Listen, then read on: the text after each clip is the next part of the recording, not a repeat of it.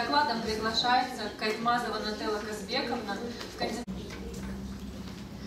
Рада приветствовать вас. Сегодня мы с вами поговорим о питании, как о основе здоровья человека.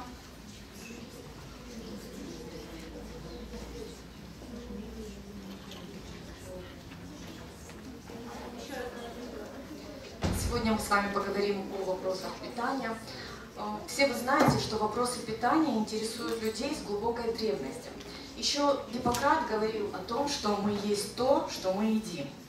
Сегодня можно говорить о том, что мы есть не то, что мы съели, а то, что мы усвоили из того, что мы съели. Многие наши современники, будучи людьми образованными, культурными, к удивлению, очень мало знают о питании. Несмотря на весь тот большой багаж знаний по диетологии, который ну, имеется на сегодняшний день.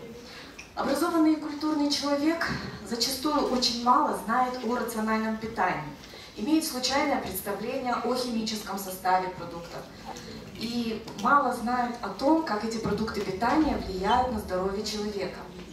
Лишь какое-либо заболевание может заставить человека обратить внимание на свое питание. Сегодня настало время судить о культуре человека не только потому, как он ведет себя за столом, как пользуется столовыми приборами, но и потому, как, что он кладет себе в тарелку, что он ест, знает ли он о том, что есть, сколько есть и в какое время. Чем же являются продукты питания для нашего организма? Если сравнить тело человека с домом, то продукты питания являются строительным материалом. Они обеспечивают э, наш организм всеми питательными веществами.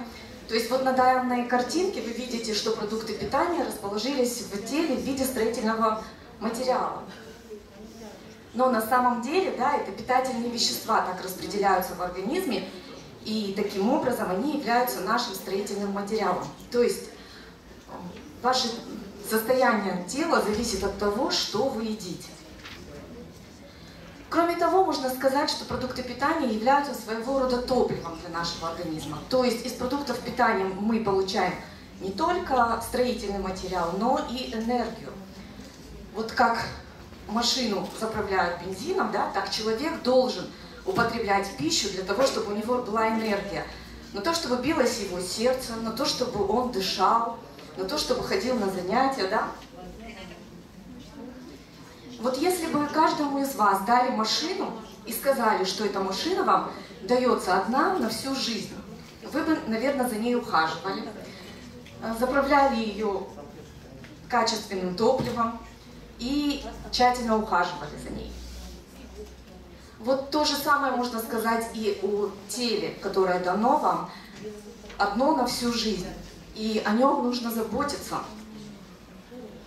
И если начать заботиться о своем теле только в 50 лет, то оно достаточно изнашивается к этому возрасту. Вот, поэтому чем раньше человек начинает э, задумываться о своем теле, о том, как работает этот организм, да, эта машина. То есть, когда вы покупаете телефон, вы тщательно изучаете его функции способности, возможности этого телефона. Вот точно так же вы должны заботиться о своем теле и знать о качестве продуктов, которыми вы питаетесь ежедневно. Беда нашей цивилизации в том, что мы в состоянии измерить температуру атмосферы Венеры, но не представляем, что творится внутри суфле на нашем столе, сказал как-то профессор физики из Оксфорда Николас Курти. Как сказал Эйнштейн, проблемы, которые мы создали, невозможно решить на том уровне сознания, на котором они были созданы. Поэтому для того, чтобы решить проблему правильного питания, необходимо изучить этот вопрос. А, за последние годы резко изменились условия жизни населения. Механизация и автоматизация практически вытеснили ручной труд из жизни человека – это привело к несоответствию между той энергией, которую мы потребляем с пищей, и уровнем энерготрат. Это все приводит к гиподинамии. Да? Вот как пример вы видите мальчика, который лежит на диване э, с избыточной массой тела, как минимум, а скорее всего с ожирением. Вот, ясно, что спортом он не занимается, это видно, да, по внешнему виду. И кушает. То есть раньше человек э, очень много ходил, да, он ходил в поле, не было столько транспорта. Вот. Человек физически, даже чтобы переключить э, канал на телевизоре, нужно было вставать, не было пульта там, и так далее. Да? То есть все это привело к гиподинамии. А большинство заболеваний, они связаны с, именно с гиподинамией. Кроме того, изменился химический состав продуктов. То есть э, загрязнение, истощение почвы приводят к снижению нутриентов, то есть полезных веществ почве, а также в продуктах. Сейчас даже есть такое выражение, как касаемо продуктов питания, как муляж пищи.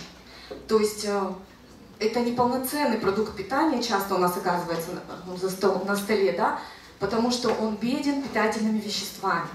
А если еще учитывать, что человек мало двигается, необходимо уменьшить количество энергии, получаемой из пищи.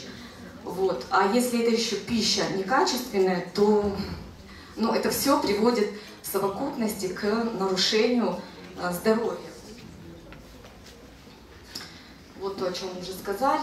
Негативное влияние на питание человека оказывает и доступность питания продуктов. Не всегда качественных.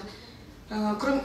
Вы все знаете, что сейчас, э, раньше такого не было, да, появилась готовая кухня. Э, Питание стало очень доступным. И это питание не всегда качественное. То есть э, питание стало как бы на ходу. Раньше люди питались, это был ритуал, да, принятие пищи за столом, всей семьей, а сейчас питание на ходу и так далее. Показатели здоровья ухудшились как от избыточности питания, так и от его недостаточности. Вы видите на слайде, что вот э, истощенного ребенка, то есть э, низкие экономические возможности людей часто приводят к истощению организма. И избыточный вес – это результат неправильного питания, в основном углеводного. Что же такое рациональное питание? Рациональное питание – это питание здорового человека с учетом его пола, возраста, э, характера труда и физической активности, климатических условий. Принцип рационального питания. Самое главное – соблюдать три принципа питания. Это баланс энергии, баланс нутриентов, то есть баланс питательных веществ и режим питания.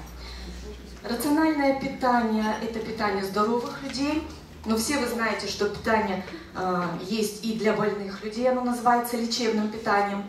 Есть спортивное питание для спортсменов, также можно отдельно выделить военное питание и космическое питание.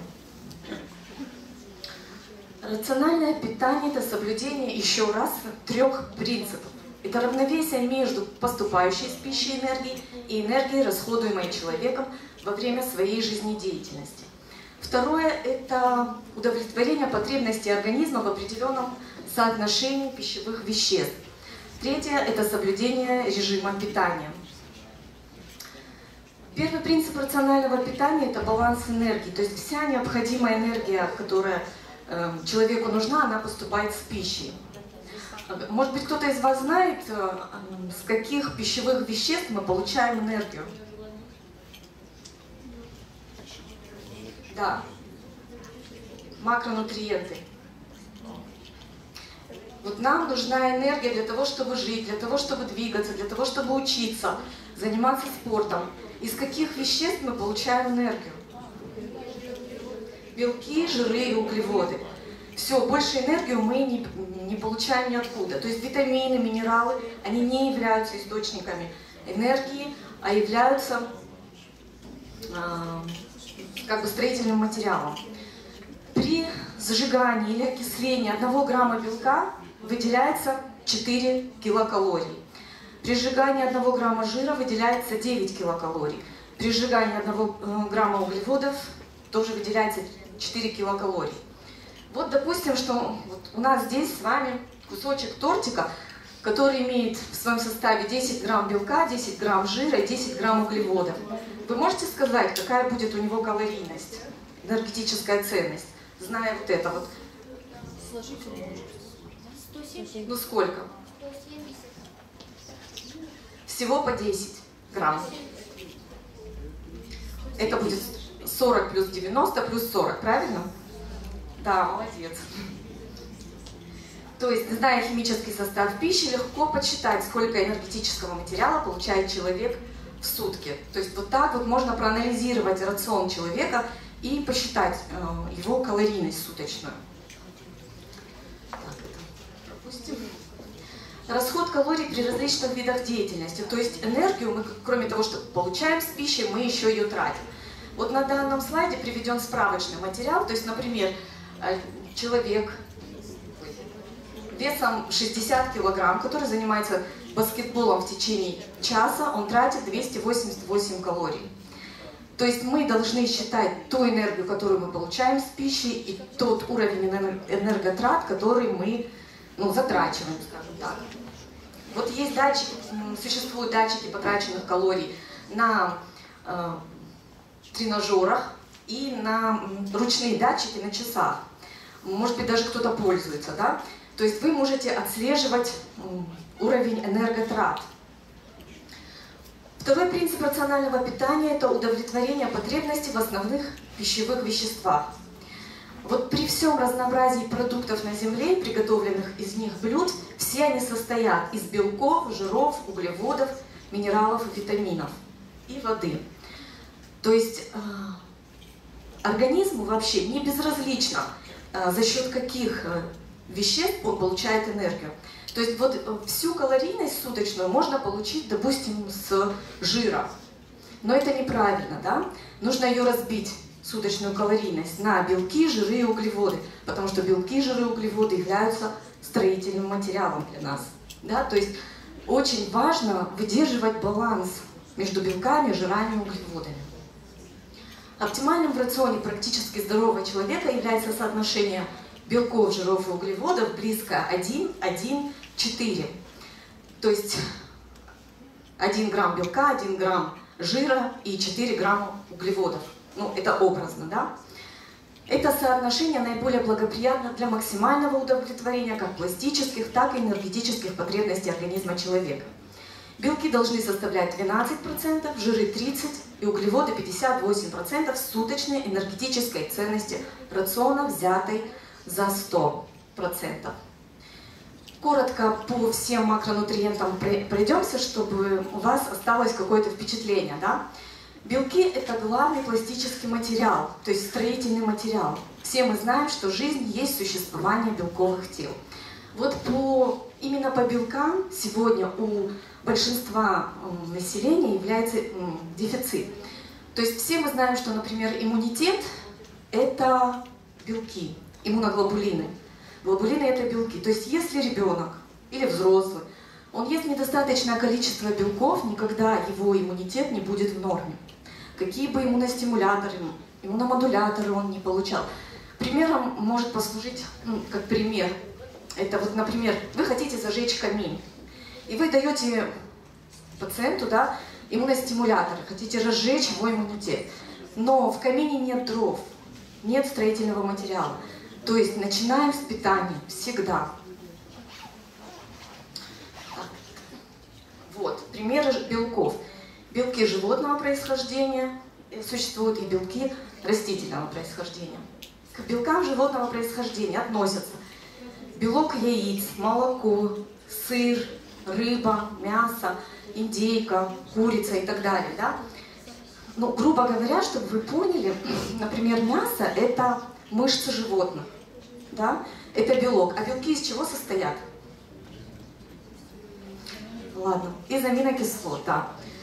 Меняется в каждом продукте только последовательность аминокислот, известных 20 аминокислот, да, есть там заменимые незаменимые.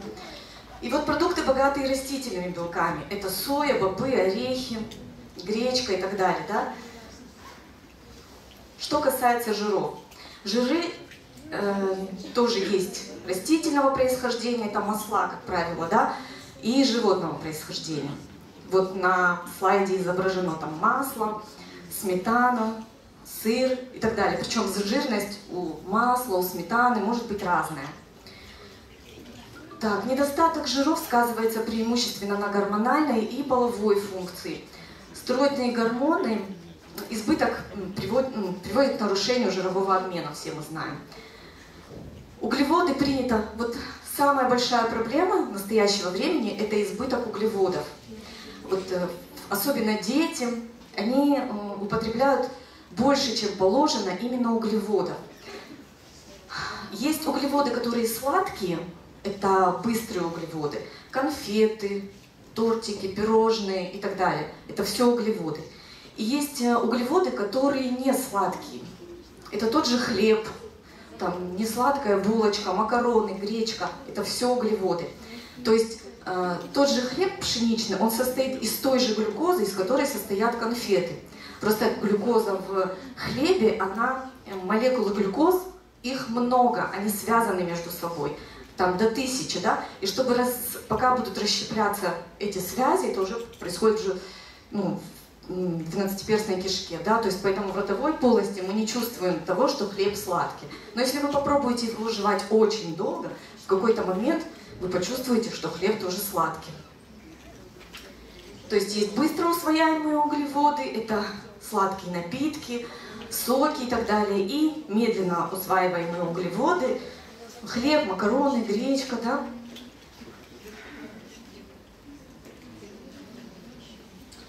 А, важно, хочется сказать о пищевых волокнах.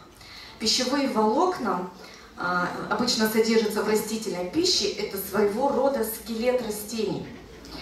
Вот скелет растений, пищевые волокна есть растворимые и нерастворимые.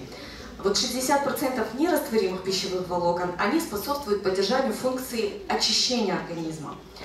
То есть очень важно вот э, их наличие. И 40% растворимых пищевых волокон способствуют росту полезной микрофлоры. Так. Еще пару слов о воде хочу сказать. А, когда вы покупаете воду, обязательно всегда смотрите на дату. То есть э, у воды есть срок годности. Если вы выбираете воду в стекле или в пластмассе, конечно, мы предпочтение отдаем э, воде, которая находится в стекле, потому что при нарушении э, хранения воды, которая находится в пластике, в воду поступают токсичные вещества под ультрафиолетом, которые, и эта вода становится очень вредной. То есть лучше стеклянной таре. Ну и так далее. На этом позвольте закончить.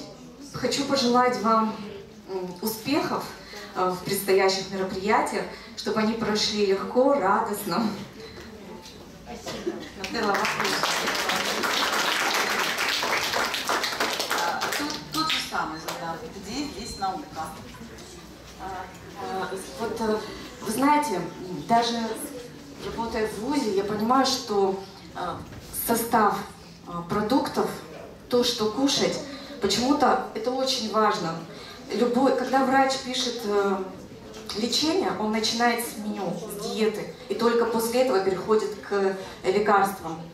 То есть очень важно, что как люди, это научный подход к формированию своей тарелки.